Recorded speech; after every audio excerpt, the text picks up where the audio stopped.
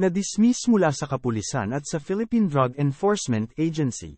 Nagtala si Morales ng isang nakapanlulumong kwento ng pagtataksil at pagdududa.